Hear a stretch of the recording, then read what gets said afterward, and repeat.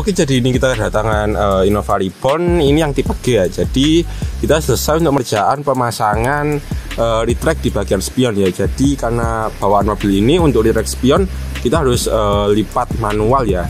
Kemudian request dari owner kita pasangkan untuk retract spion uh, supaya untuk dia melipat bisa otomatis lewat uh, switch bagian dalam ya. Jadi untuk switchnya kita pasangkan seperti uh, Innova yang tipe V atau Venturer. Nah, ini. Oke kita coba ini kita nyalakan uh, jadi kita tekan untuk switchnya di sini dia akan melipat otomatis seperti ini nah.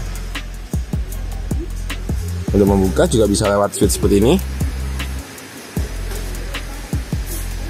Oke, yang baru untuk pemasangan uh, retract spion, terutama di Innova tipe G seperti ini, bisa hubungi admin kita. Thank you.